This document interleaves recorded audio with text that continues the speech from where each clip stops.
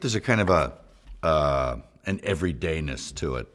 the fact that, uh, um, apart from the fact that they seem to destroy everything in their path, it's a there's an ordinariness to it, an everyman quality to it, you know, and a sort of tongue-in-cheekness, or, you know, they're not taking themselves too seriously with the whole thing. So, uh, I think therein lies the appeal.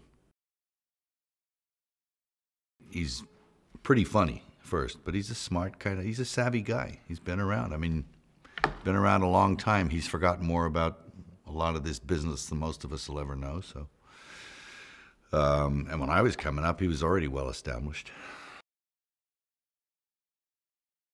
I like his enthusiasm. He's like a big kid, you know, and uh, and I think uh, you know he knows what he's doing. He knows his way around the set, a camera. He knows how to. He's very confident, and um, you know, seems to be a real good shooter too. So I like I like the kid. I like him a lot. Yeah.